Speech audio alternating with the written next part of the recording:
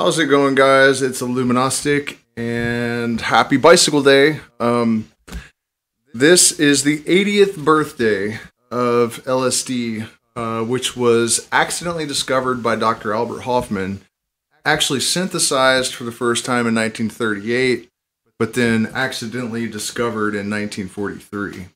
Um, so the actual birthday, 80th birthday of LSD would have been three years ago. My math is correct. No, no, no, more five. Um, so my math was incorrect. Uh, but yeah, so 80 years since the accidental discovery of LSD. I'm sure all of you know the story, but just in case, uh, you know, he he handled it and got some on him and uh, the story was that he got it on his hand and there have been uh, m- myth debunking studies um, and they looked at whether or not lsd would soak in through your skin and it was determined that it cannot um, so this is fodder for the conspiracy theorists that say that this story is not real and that it was actually some kind of cia program to create a mind control drug um, which you know is a bit ridiculous if you consider that LSD allows the user to uh, what's going on, Flezic, to really engineer their own consciousness, to rewrite their own programs. So certainly, if you're kidnapped and tied to a chair and given electroshock therapy by the CIA, what's up, Misty? Um, as did happen to a bunch of people. MK Ultra is not a conspiracy theory. It's definitely something that happened. All of the documents are available uh, via um, the Freedom of Information Act, and there was some really crazy stuff that happened. Um, but uh, I don't I don't want to get too divergent because uh, we're going to come back to this stuff in a minute.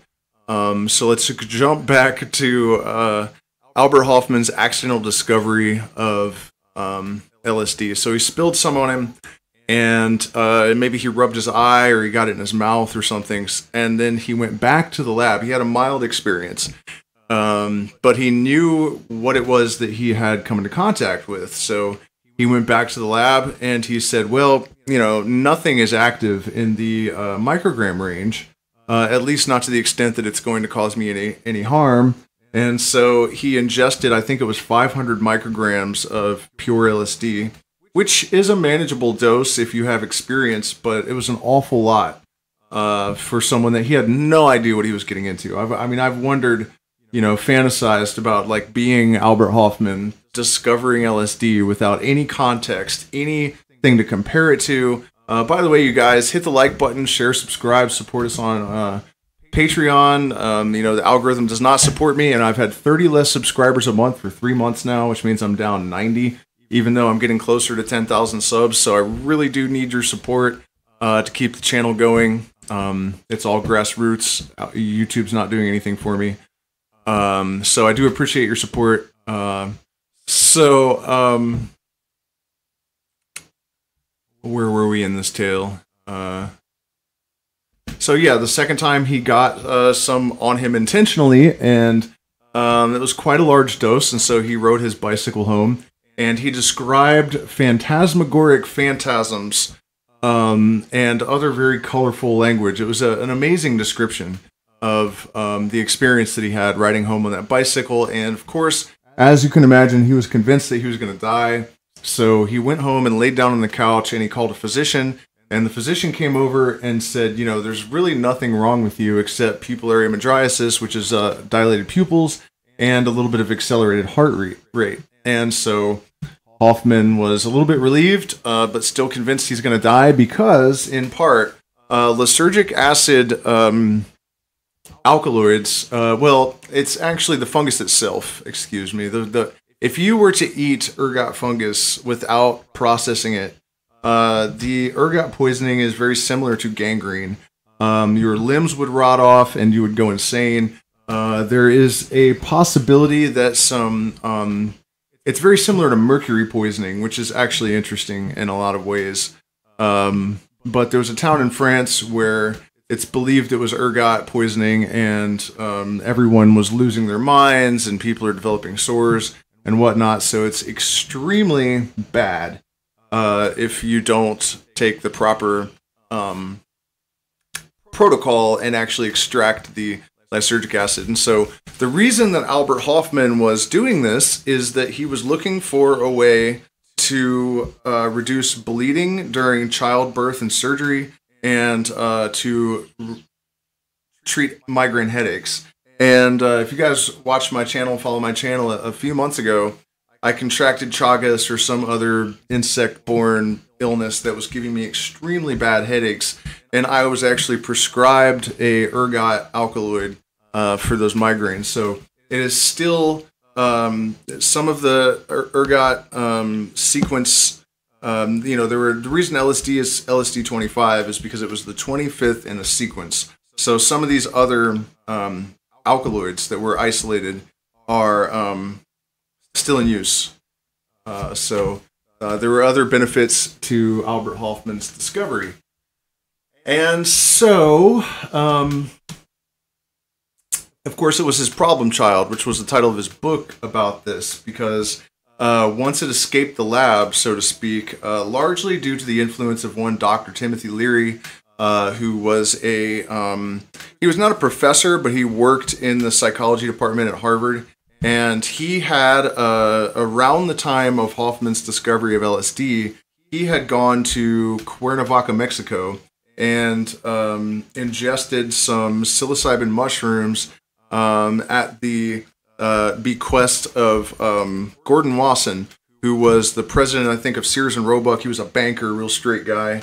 Um, and by the way, for those of you that have never actually looked at the whole story of uh, Sabrina, um, Maria Maria Sabina, and um, Doctor Wasson, or was he a doctor? Whatever, Wasson, uh, and his wife. Um, she gave them about thirty grams uh, so she gave them an extraordinarily high dose. And um, his response was to send uh, samples to Timothy Leary because he thought someone at Harvard should know about this. Um, you know, if you have this incredible psychological and spiritual experience, who are you going to send it to but psychology department at Harvard? And so it just happened to be Timothy Leary um, that received this information. And so he took off to uh, Mexico to find the mushrooms. And when he got back from Mexico, I think it was only a few weeks later, um, Hofmann had sent uh, LSD um, to Leary. And so, you know, all these coincidences are, are a little bit, you know, it makes a lot of people suspicious of the story. Um, I interpret it more along the lines of synchronicity and fate than uh, conspiracy, an evil conspiracy. Um, but you know, it's just my opinion. Uh, so let's see. Then, um, certainly not coincidentally, uh, Hofmann. I think it was Leary that sent him the mushrooms and said, "Hey, these things do almost the same thing as these things. so why don't you try to figure it out?" And Hofmann became the first person to extract uh, psilocybin as well uh, to isolate it and figure out what was going on there. Uh, also, along these same lines, LSD was the first time that a chemical was discovered in the laboratory. Right on, man. Well, I'm glad. See, look at that, you guys. If you become a patron, Fish Pondering is saying he spent the entire day watching the backlogs of the uh, patron stuff. So, um, definitely sounds like it's it's worthwhile based on the feedback I'm getting to join the Patreon and to support my channel. Um, and you get to find out all kinds of amazing stuff about the you know lore of LSD. So uh, LSD was the first time that a chemical was synthesized in the laboratory and then discovered in nature.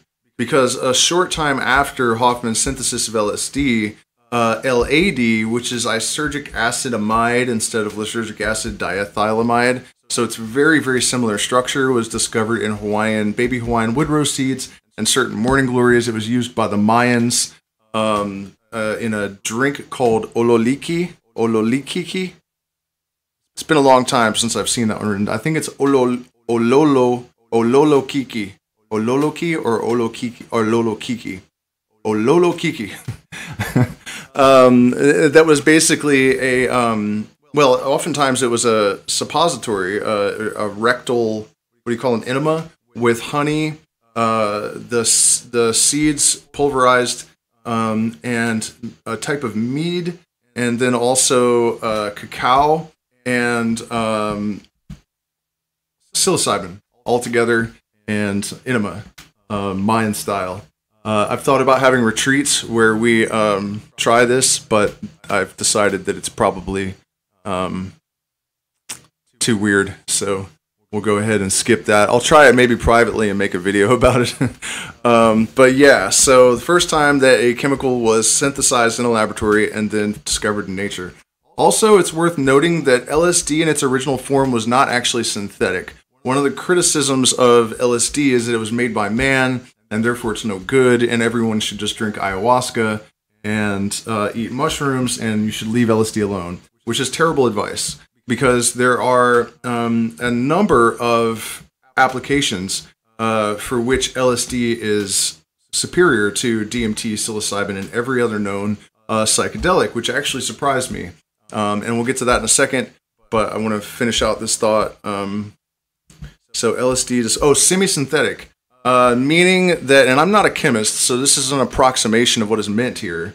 Um, but it is the the skeleton, the chemical skeleton, already exists in the fungus, and the chemist just sort of fills it in. Um, that's the way it was explained to me by a chemist. So um, you know, the best I can do. But it's semi-synthetic, and rather than being critical of LSD because it was uh, created by a human who is part of nature, in my opinion, right? We're not somehow separate from nature. Uh, I always felt that it was a beautiful indication that we're actually capable of working with nature to create something good. That the um, Promethean kind of consequences of um, you know fooling around with nature, uh, the atom bomb being a really great example of this. That that's not inevitable. That it is very possible that we can actually do good things um, with science and nature, and it doesn't necessarily condemn something just because man created it. Um, honestly, I feel like that attitude kind of comes from religion, and I don't like religion either. So, uh, so yeah, I I feel in, eternally indebted to Dr. Hofmann for his discovery. Um, I think that the the discovery of LSD was one of the most important things that's ever happened, and I also think that it's um, really easy to underappreciate the impact that it's had. Uh, you know, the 1960s and the change in consciousness. A lot of people feel like the hippies kind of failed us. They all went back to sleep, became yuppies, got jobs, forgot what they were doing, and just sort of got sucked into the machine. And then their brains were eaten, um, and they just became yuppies. And uh, to some extent, that's certainly true. Uh, but you know, the from the Grateful Dead to uh, Apple um, computers, uh, you know, I, am not a big fan of Bill Gates, but Bill Gates has said that you know taking LSD was one of the most important things that happened in his life, and whether he's good or bad, he's certainly having a major influence.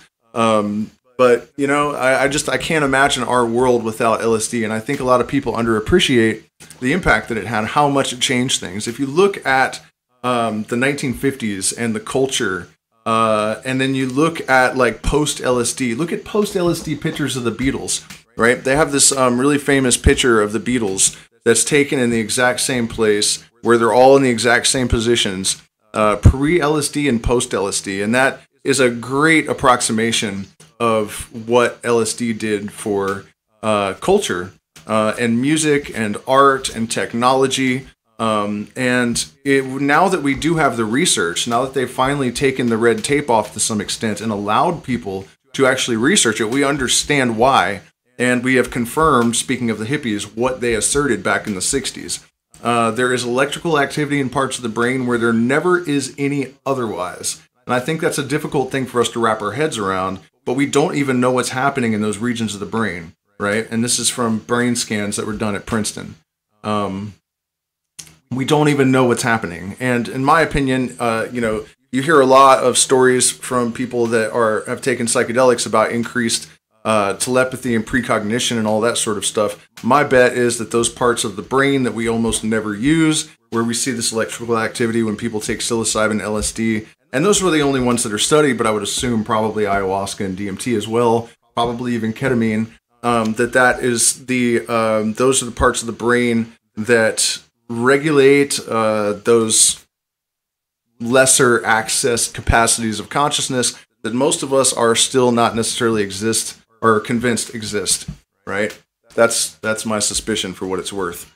Um, but aside from that electrical activity in parts of the brain where there never is any otherwise, uh, both in situ and in vitro, so in a petri dish and in the human brain, uh, LSD has been observed to cause more neurogenesis than any of the other psychedelics, which means that um, new neural pathways are being created, and even old brain cells that are damaged or withered are regenerating faster than psilocybin or ayahuasca or any of the rest of them.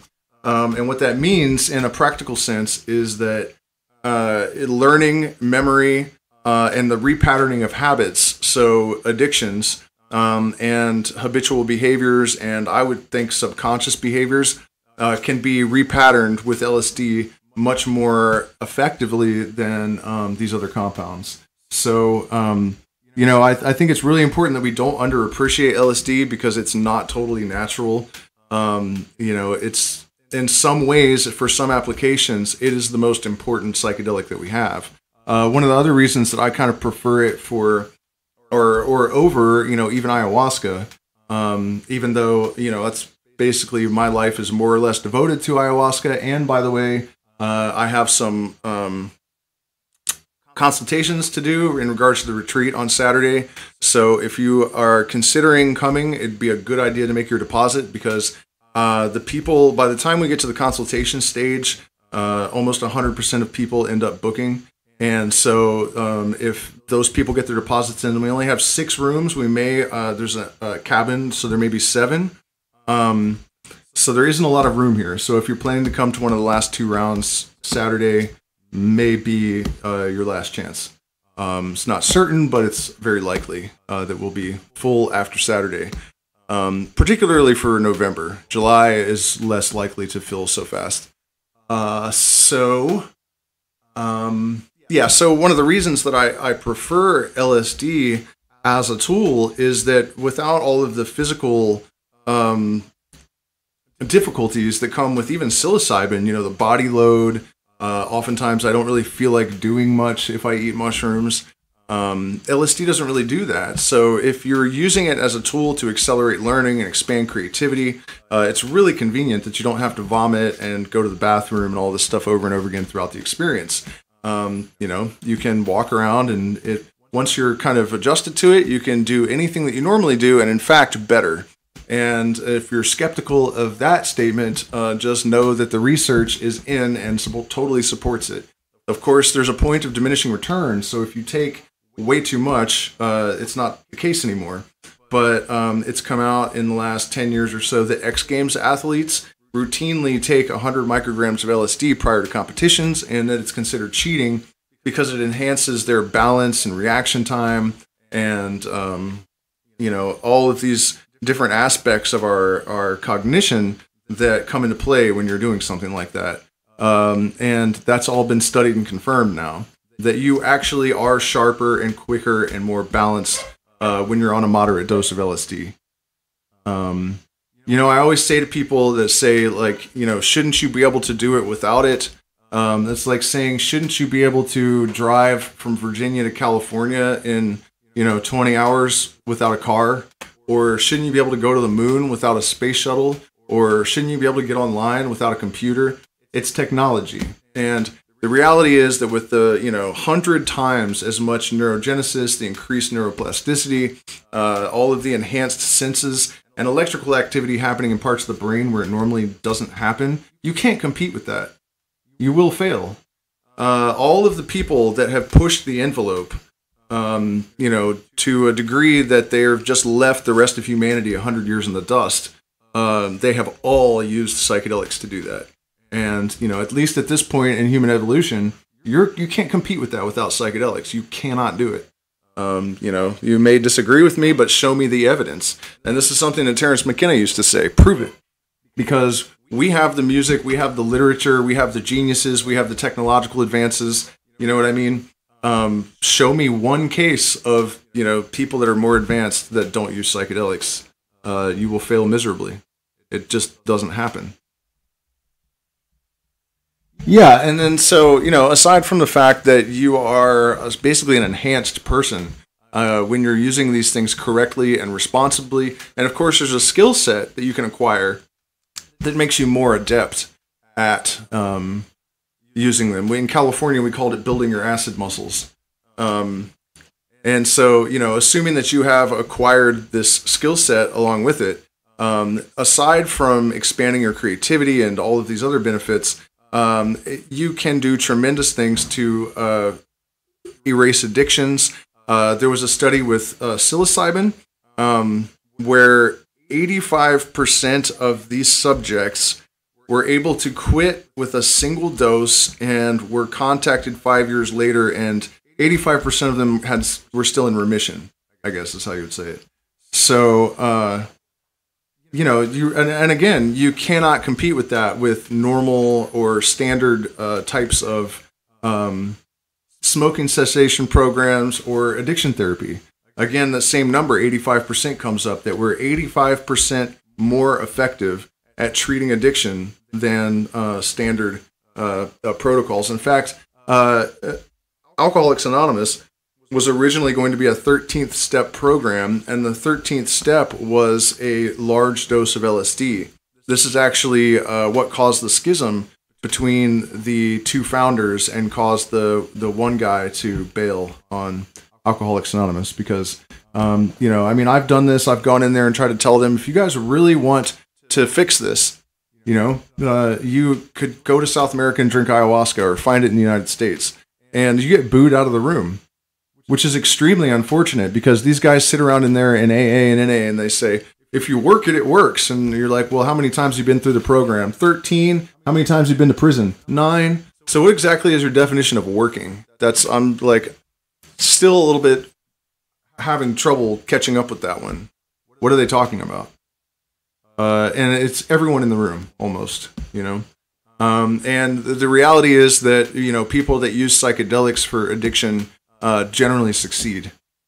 So it's really difficult for us to overcome the stigmas and the stereotypes. And there's something called anchoring bias, where uh, people believe whatever information they were given first. Uh, and so it's really, really difficult, particularly if someone has believed something for a long time. Um, it's a really difficult thing to convince them otherwise. Uh, but you know, one of the reasons that I jumped on here today to talk about this because I actually have to get to ceremony uh, in a few minutes. Um, but I just couldn't miss a bicycle day uh, stream. I do it every year, and it's just such an important subject. It's so important to uh, overcome the stigmas and to realize that no researchers ever told the United States government these compounds are dangerous, they are a threat to society, and you need to outlaw them. That didn't happen. What happened is that the researchers said these compounds, this compound, particularly LSD, Humphrey Osmond uh, was one of the, the researchers that was involved in this. Uh, there's another guy you can find online. I can't recall his name off the top of my head um, that witnessed all this go down. Uh, but they they told the government their report, their conclusions, you know, their their summaries of their experiences or their experiments. Um, was, you know, something to the effect that every known psychological problem can be cured with psychedelics, and oftentimes with a single dose. And incredibly, uh, the response from the federal government was to shut down the uh, research immediately. And why? You guys really need me to tell you? I don't think you do. But, you know, there are several industries that were threatened um, pretty severely uh, by the uh, advent of psychedelics. Um, and, you know, one of the things that I think it's also important to consider on this subject what if all of the addiction and alcoholism and the violence and the depression and suicides, how much of it would have been averted if the US government had actually considered the interests of the people over those of the corporations? Um, you know, I, if if you believe the research and just imagine that you know a lot a lot of the addictions and traumas and stuff are um, hereditary or they're based on the behaviors of people that, if they had had help, might not have passed this damage on. So we're talking about an exponential reversal in uh, you know harm, societal harm caused by alcoholics, uh, depressives. Uh, you know that causes murder too. People go on rampages. Um, SSRIs have been determined to cause aggression now, and it's been known for a long time that almost every single mass shooter has been on SSRIs like Prozac or Zoloft or, or one of these. And now the this major research paper was published, I think, three or four months ago, um, where they basically said, you know, this was never helpful. SSRIs were never anything but a scam. And they may have caused or at least contributed to all of these mass shootings. So, you know, I, I don't think that anyone is in the dark about this at this point. Um, but the the practice of putting the interests of corporations above the interests of the people uh, in the United States has well surpassed uh, criminal um, status. And again, you guys just really think about how much pain and suffering and death would have been averted if the government had told the truth about psychedelics 60 years ago. It is just crippling to think about it. And I mean, we do see a lot of progress being made uh, in the here and now. Um, but I think that people are still really hesitant to confront things uh, to their fullest extent and to really admit um, how far over the line things have gone. Um, and of course, it doesn't just apply to psychedelics. Uh, but it's it's one of the best examples.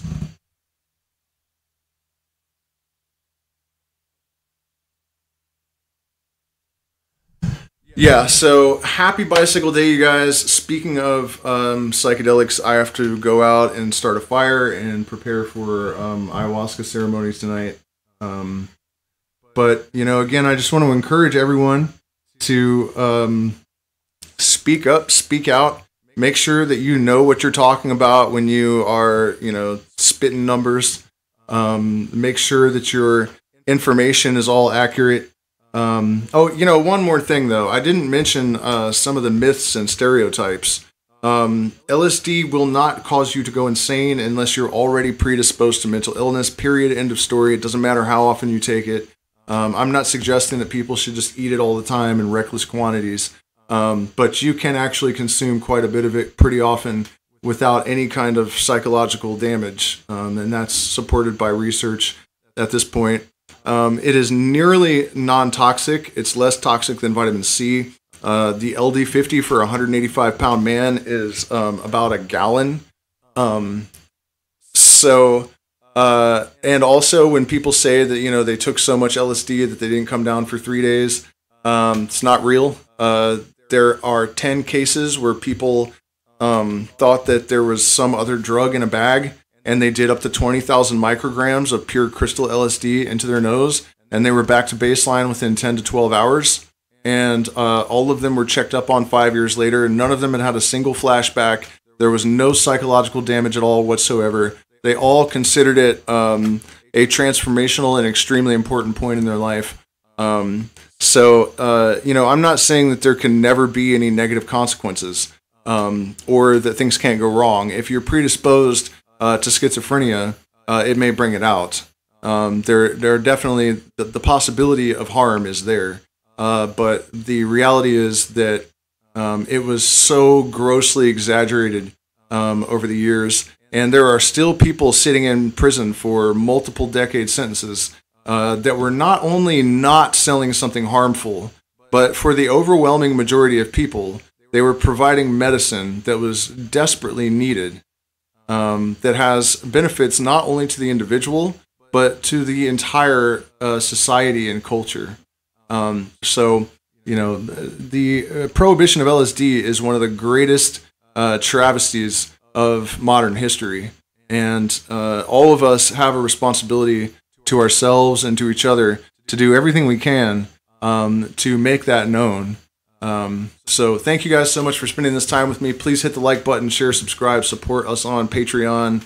Um, send me an email if you want to come to the retreats uh, before it's too late, and I'll see you all again very soon.